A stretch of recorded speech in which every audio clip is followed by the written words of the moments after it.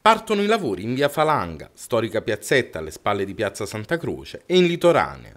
Ad annunciarlo l'assessore ai lavori pubblici Felice Gaglione. È stata uh, avviata, è stata fatta la progettazione, è stata messa in gara, è stata affidata la gara e a giorni partiranno i lavori.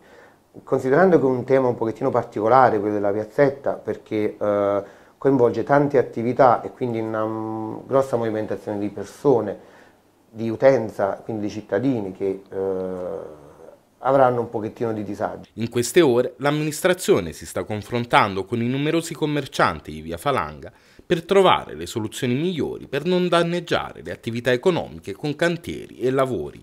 Ciò che preme maggiormente è garantire tempi celeri in modo da ridurre i disservizi inevitabili al periodo estivo. Quanto tempo dovrebbero durare questi lavori? Allora, i lavori dovrebbero durare circa 5 mesi però eh, questo è il termine massimo che si è presa l'amministrazione, ma non dureranno mai 5 mesi, eh, di solito su ogni appalto si mette un termine massimo. L'architetto D'Angelo stamattina mm, ci siamo incontrati, abbiamo ragionato su questo, mi ha detto che massimo per le fine estate saranno...